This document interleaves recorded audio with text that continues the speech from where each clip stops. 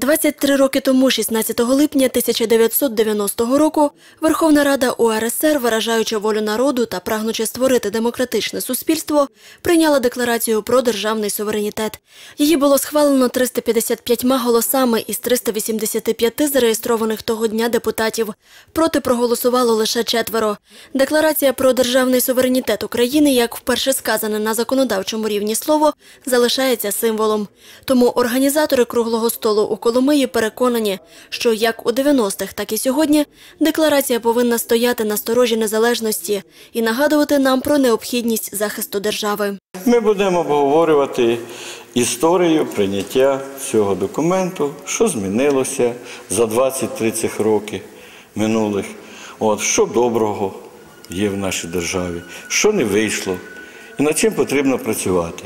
А також відношення тих людей, які сьогодні є і будуть приймати участь у круглому столі, до цієї події. Організатори розповідають, що не останню роль у прийнятті декларації про державний суверенітет відіграла і Коломийська громада.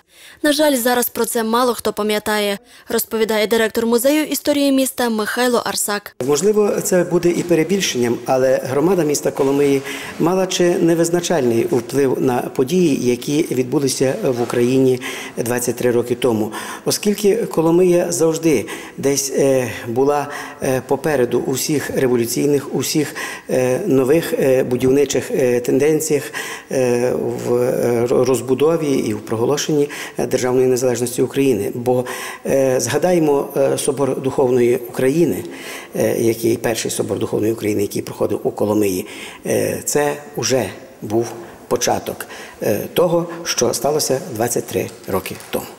Круглий стіл зібрав на обговорення депутатів міської ради, представників політичних партій та громадських організацій.